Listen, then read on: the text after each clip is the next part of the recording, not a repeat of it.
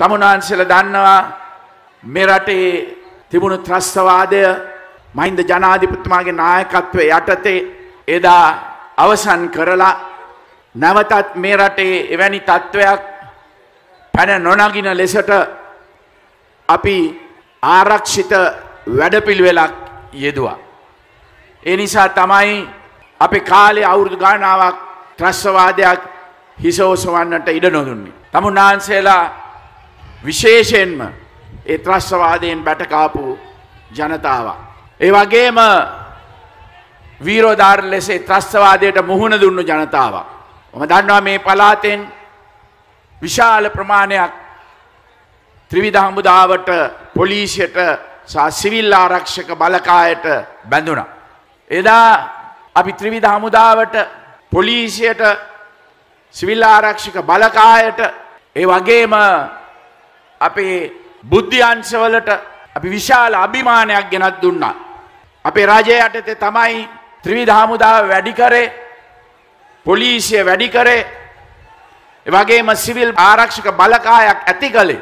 එදා ග්‍රාම ආරක්ෂකයන් හැටියට සමාරලාට ගම්බට්ටන් කියපු අය මම හමුදාවක් හදලා ඒට සක්‍රිය පුහුණුවක් ලබාදීලා ස්වංක්‍රිය ආයුධ ලබාදීලා එවගේම නිල ඇඳුමක් ලබාදීලා ඔවුන්ට අභිමානයක් ලබා දුන්නේ. මට මතකයි අවසාන මොහොතේ එදා හමුදාවට තවත් හාරදාහක් අවශ්‍ය වුණා. ඒ අවස්ථාවේදී අපිට වෙලාවක් තිබුණේ නෑ අලුතෙන් බැඳගෙන පුහුණු කරන්නට.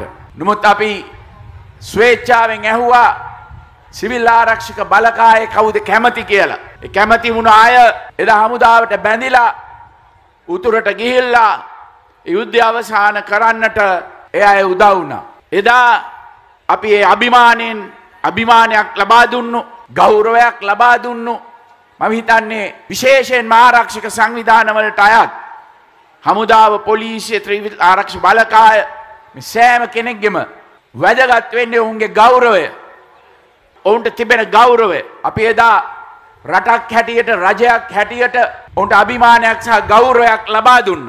නමුත් මේ රජය ජාතික ආරක්ෂාව කෙරෙහි කිසිම අවධානයක් යොමු නොකරන එවගේම අපි එදා යොදා තිබුණු ආරක්ෂික වැඩපිළිවෙල පිළිබඳව අවධානයක් යොමු නොකරපු මේ රජය අපේ හමුදාවේ මානසිකත්වය ත්‍රිවිධ හමුදාවේ පොලිසියේ සිවිල් ආරක්ෂික බලකායේ මානසිකත්වය වැටෙන අයුරු ක්‍රියා කරේ බව තමුන්නාන්සල දන්න. එවගේම රණවිරුවන් ජාත්‍යන්ත්‍ර අධිකරණවලට ගෙනියන්නට විදේශීය බලපෑම්වලට යට වෙලා විදේශය රටවල් සමඟ සම්මුති අත්සං කරලා මාර්ගය පෑදුව. ඒකම අභූත චෝදනා ගෙනල්ලා ඒ බුද්ධ්‍යංශ නිලධාරීන් හිරගෙවල් වල දැම්ම. මේ වගේ තත්ත්වයක් හමුදාවට පොලිසියට ශ්‍රීලාරක්ෂික බලකායට ඇති කළ නිසා තමයි නැවතත් අවුරුදු දහයක් පිනෙන ඔන්න මෙන්න තිබියදී නැවතත් මේ රටේ බෝම්බ පුපුරන්න පටන් ගත්තේ. ඒ අයට කිසිම සේත් පුළුවන් කමක් නැහැ. විජාතික බලවේගවලට යටවෙන එවගේම රණවිරුවන්ට විරුද්ධ මතදරන රාජ්‍ය නොවන ආයතන වල බලපෑමට යටවෙන මේ රජයට අමාත්‍ය මණ්ඩලයට පුළුවන්කමක් නෑ මේ රටේ ආරක්ෂාව තහවුරු කළ දෙන්න. ඒ කාර්ය කරන්නට පුළුවන් වෙන්නේ අපේ රජයකට පමණයි කියන එක මේ අවස්ථාවේදී මතක් කරන්නට ඕනේ. අද පොලිසියේ සිවිල් ආරක්ෂික බලකාය අතර බොරු ප්‍රචාර ගෙනියනවා. මට කීප දෙනෙක්ම කිව්වා. නමුත් තමුන්නාන්සලා දන්නවා මම ආරක්ෂයක් ලේකම්වරය හැටියට තමයි තමුන්නාන්සලාගේ වරප්‍රසාද ලබා දුන්නේ. අපි ලබා දෙන්න හිටිය වරප්‍රසාදත් මේ රජයෙන් ඉදිරියට ගෙන ගියේ නැහැ. අපි ඒ වෘත්තීය සමිති කට්ටිය සමග සාකච්ඡා කරලා තිබෙනවා. අපි ඒ ඉතුරු විෂමතා සායේ වරප්‍රසාද ඉදිරියේදී තමුන්නාන්සලට ලබා දෙනවයි කියන සාතිකය මේ අවස්ථාවේ කියනවා. ඒ වගේම එදා සිවිල් ආරක්ෂික බලකාය යුද්ධය අවසාන වුණාට පස්සේ මුදල් ගෙවලා ඒ කැමති ස්වේච්ඡාවෙන් එන අය පමණක් එදා සමහර සංවර්ධන වැඩ කටයුතු වලට යෙදුවා. යට විශාල මුදලක් ගෙව්වා එයාට ඒ සමාගම් මගින්. නමුත් මම දන්නා තරමට අද ඒ අය විවිධ ප්‍රදේශවල විශේෂයෙන්ම කොළඹ රාජකාරි වලට යවන්නේ එහෙම මුදලක් නොගෙවා අපි එවැනි තත්ත්වයක් තියෙනවා නම් ඒවා අපි සම්පූර්ණයෙන්ම නවතනවයි කියන එකත් මේ අවස්ථාවේදී තහවුරු කරන්නට ඕනේ. තමුන්නාන්සේලා දන්නවා තමුන්නාන්සේලාට ගෞරවයක් ගෙනාවේ කවුද? තමුන්නාන්සේලාට අභිමානයක් ගෙනාවේ කවුද? තමුන්නාන්සේලා බල සේනාව හැදුවේ කවුද? පොලිසිය වැඩි කරේ කවුද? හමුදා වැඩි කරේ කවුද කියන එක. ඒ වගේම ප්‍රමුඛත්වයක් දෙන්නේ මොන රජයද කවුද මොන නායකින්ද කියන එක. ඒ නිසා මේ බොරු ප්‍රචාරවලට තමුන්නාන්සේලා රැවටෙන්නේ නැති බව මම දන්නවා. ඒ වගේම අපි අපේ ප්‍රතිපත්ති ප්‍රකාශනය ඉදිරිපත් කළා. ඒ අපේ ප්‍රතිපත්ති ප්‍රකාශනයේ තමුන්නාන්සේලා දන්නවා මේ පළාතේ වැඩි 90%ක්ම ඉන්නේ ගොවි ජනතාව. අපි ප්‍රමුඛත්වයක් දීලා තියෙනවා කෘෂිකර්මාන්තය වෙනුවෙන්. අපේ රට ආහාර වලින් ස්වයංපෝෂිත කරන්නට ආහාර පිළිබඳ සුරක්ෂිතතාවය තහවුරු කරන්නට එවගේ අපේ රටේ තවමත් තුනෙන් එකක් පමණ සිටින ගොවි ජනතාවගේ ජීවන තත්ත්වය ඉහළ නංවන්නට පැහැදිලි සැලසුම් ඉදිරිපත් කල්ලා තිබෙනවා. මෙන මේ හින්ද තමයි අපි පෝර සානාධාරය පෝර නොමිලේ තමුන්නාන්සට ලබා දෙන්නට තීරණය කල්ලා තියෙන්නේ. ඒකම විවිධ හේතුන් නිසා තමන්ගේ ඒ අස්වැන්න අසාර්ථක වුණු නිසා තමුන්නාන්සල වුණු ණය ගොවි ණය සම්පූර්ණයෙන්ම කපා හරින්නට අපි තීරණය කළා තිබෙනවා. ඒ වගේම නිවැරදි බීජ ලබා දෙන්නට ඒ වගේම සාතික මිලක් ලබා දෙන්නට ඒ වගේම තාක්ෂණය මගින් නිවැරදි ජල කළමනාකරණය නිවැරදි පොහොර කළමනාකරණය සහ අනෙකුත් අවශ්‍ය තාක්ෂණ දැනුම පාවිච්චි කල්ලා පර්යේෂණ කල්ලා ගොවි ජනතාවගේ අඩු වියදකමකින් වැඩි ආදායමක් ලබා ගැනීමට පුළුවන් වෙන ආකාරයට අපි තාක්ෂණය හඳුන්වා දෙන්නට පියෝජනා කල්ලා තිබෙන. මේවා ඉතාමත්ම වැදගත් අපේ රට ආහාරවලින් ස්වම්පෝෂිත කරන්නට. වගේම පැහැදිලි ආර්ථික සැලසුම් ඉදිරිපත් කල්ලා තිබෙනවා. කෘෂිකර්මය වේවා සංචාරකංශය වේවා තාක්ෂණික අංශයෙන් වේවා මේ සෑම අංශයක්ම දියුණු කරන ආකාරය අපි පැහැදිලි කරලා තිබෙන.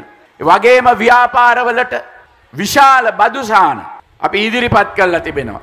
අද තිබෙන විවිධ සංකීර්ණ බදු ක්‍රම ඉවත් කල්ලා සරල බදු විනිවිධ පෙනෙන බදු ක්‍රමයක් බදු ගෙවනායට පහසු වෙන්නටත් වගේම බදු රජයට කළමනාකරණය කර ගන්නට පුළුවන් වෙන විදියටත් පහසු බදු ක්‍රමයක් අපි යෝජනා කරලා තිබෙන.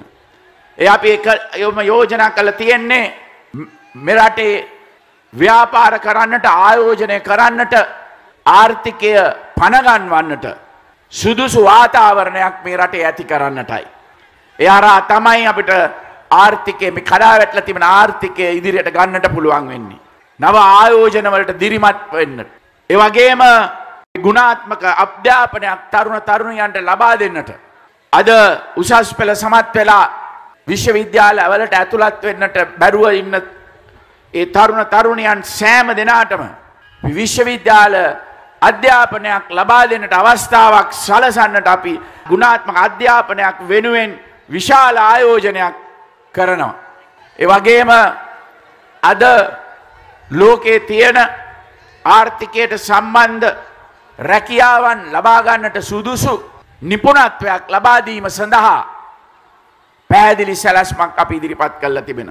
එනිසා මෙරටේ ආරක්ෂාව තමුන්නාන්සේලාගේ ආරක්ෂාව වේවා කෘෂිකර්මය දියුණු කරන්නට වේවා ගොවි ජනතාවගේ ජීවන තත්ත්වය ඉහළ නංවන්නට වේවා ආර්ථික ඉදිරියට ගෙනියන්නට වේවා මේ සෑම දෙයක්ම කරන්නට පුළුවන් වන්නේ අභියෝග භාරගෙන ජයගත් අපිටයි. අපි එදා ජනතාව භාරදුුණු අභියෝග සියල්ලක්ම අපි ජයගත්තා. ඒ වගේ අද මේ තියෙන අභියෝගත් අපි ජයගන්නට සූදානම්. තමුන්නාන්සල දන්නවා මට භාරදුන්නු වගකීම් සියල්ලක්ම මම ඉෂ්ට කලා.